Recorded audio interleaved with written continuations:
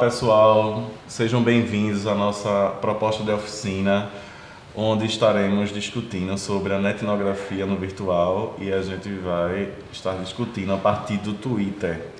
Eu sou o professor Eber, tá? Eber Gomes mais especificamente, e será um imenso prazer ter vocês acompanhando essa proposta de oficina.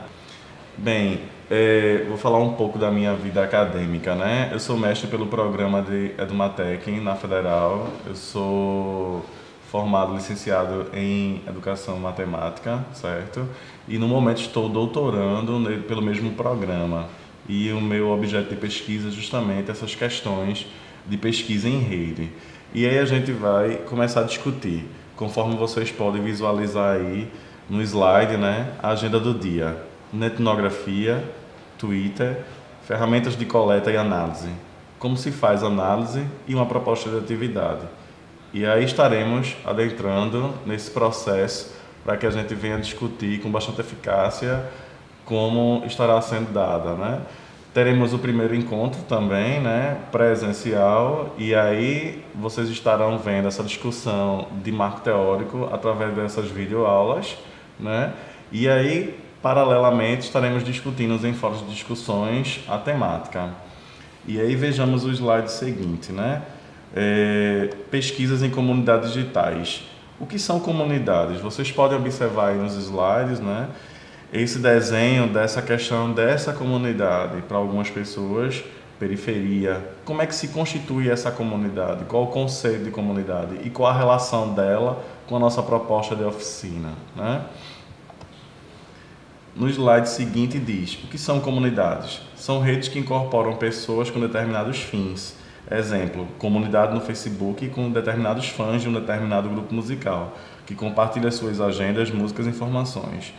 Então a comunidade ela perpassa para além da questão física, né? Existem também essas comunidades que são em campos virtuais, que podem ser tanto como o Facebook como o Twitter, onde as pessoas estão discutindo alguma determinada temática com algum determinado objetivo, né?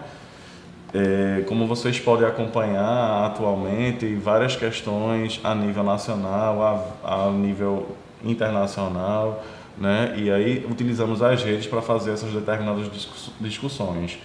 E no Twitter não seria diferente.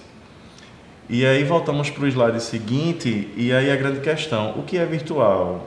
Levi, em 2002, ele afirma que o virtual ele é real a virtualização atinge mesmo as modalidades do estar junto, a construção de nós, comunidades virtuais, democracia virtual, né?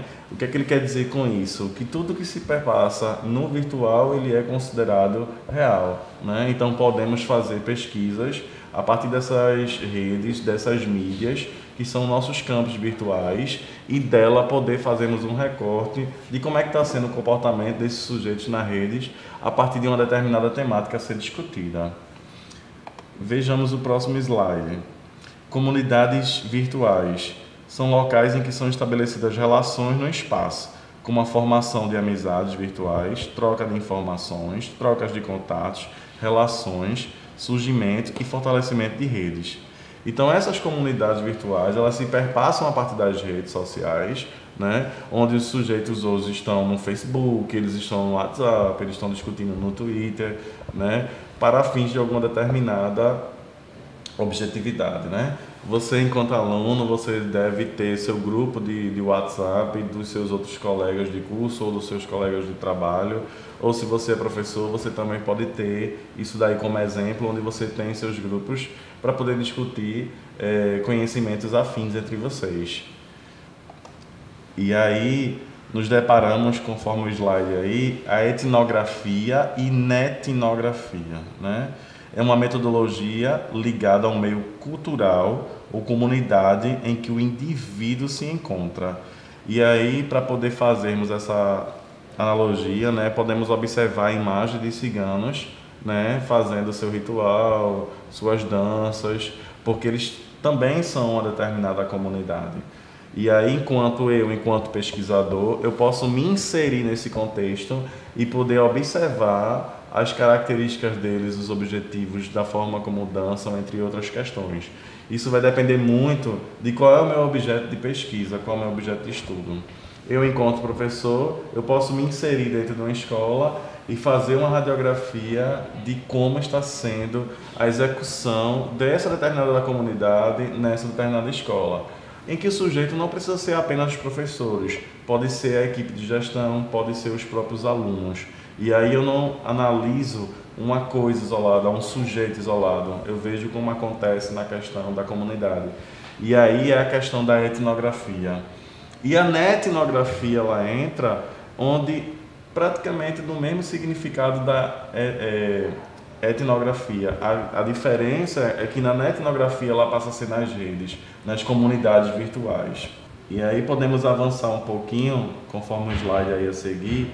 A etnografia consiste em compreender o sujeito usuário no mundo virtual, a partir de suas relações no meio digital.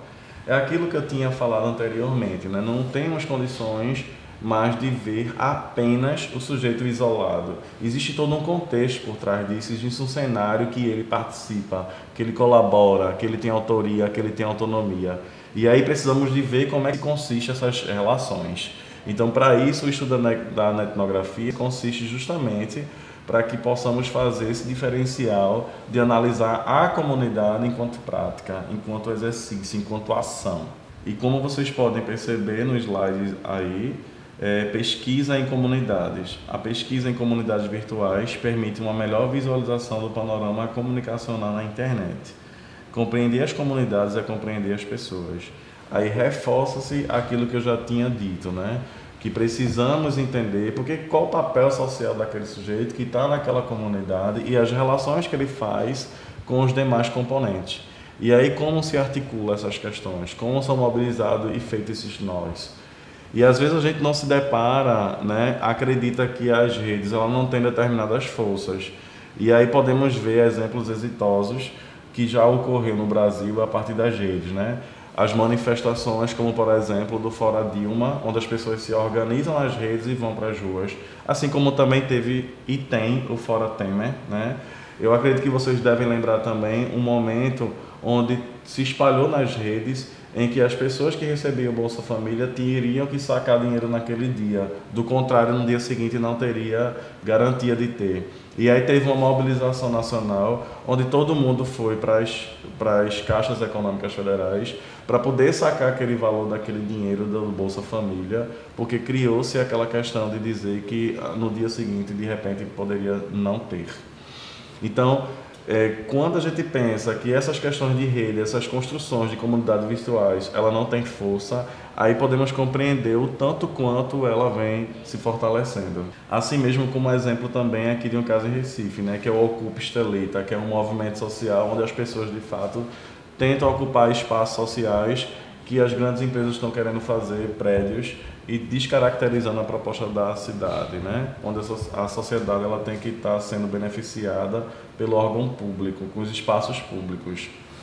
Então aí são vários exemplos de comunidades virtuais que são estabelecidos né, a partir de movimentos que são constituídos de forma nacional e de forma municipal ou estadual. E aí podemos avançar mais um pouquinho que eu enquanto pesquisador eu posso ser um observador passivo que é aquele que não interfere no cotidiano da comunidade, podemos considerar dois momentos essenciais, que é a etnografia participante, que é aquela que enquanto o etnógrafo se torna um membro do grupo, e aquela não participante é aquela que quando o pesquisador mantém-se distante somente para poder ver as observações que acontecem na no, no, no contexto, né, conforme aqui no 2007. Então é aquilo que eu tinha dito, né? É, eu posso estar, enquanto etnógrafo, dentro da comunidade, somente fazendo inferência, de modo que venha intervir e ver como é que acontece. Vai depender muito do fenômeno da pesquisa, do que eu quero pesquisar. E também eu posso estar como não participante. Eu preciso apenas observar o que, é que está acontecendo, sem precisar intervir. Né? Então, existem essas duas diferenças de realidades. E o objeto da sua pesquisa é que vai definir o que é que de fato você poderá fazer.